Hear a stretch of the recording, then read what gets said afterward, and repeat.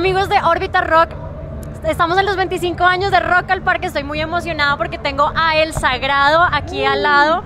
El Sagrado, esto es emocionante. Ustedes han estado en varias giras y ya han estado en Rock al Parque. ¿Cómo se sintieron en estas bodas de plata de Rock al Parque? Pues realmente sí queríamos estar en los 25 años de Rock al Parque. Era, digamos que, demasiado importante porque es un contexto histórico del rock colombiano.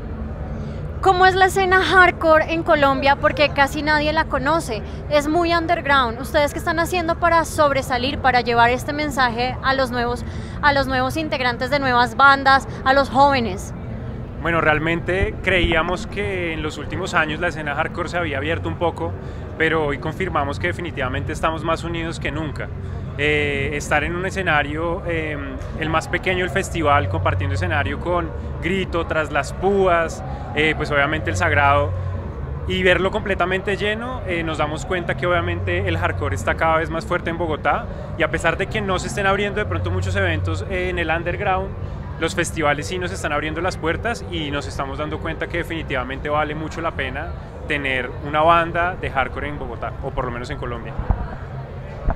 Cuéntanos un poquito sobre El Consuelo de los Caídos.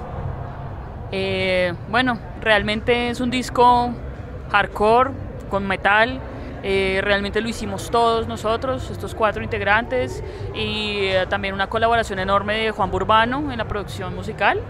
Em, quisimos darle un toque, un sonido muy latinoamericano, entonces por esa razón trabajamos con la familia Taranto de Argentina, que le han hecho discos Animal y y cosas así. Entonces el sonido es muy latino y pues nada, queremos que ustedes lo juzguen.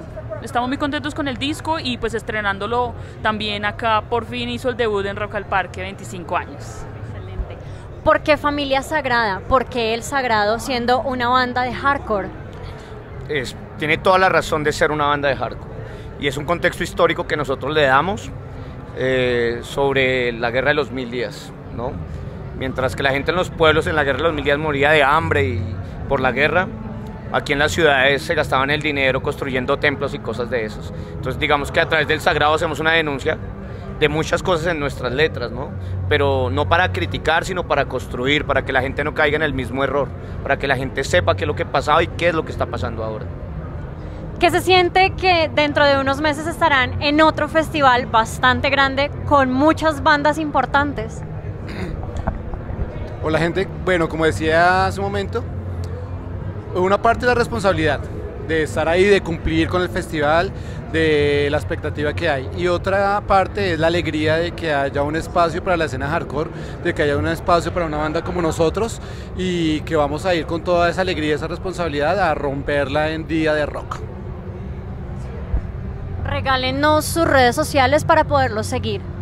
Bueno, en Instagram estamos como el sagrado, eh, arroba el sagrado HC y en Facebook estamos como igual. Igual.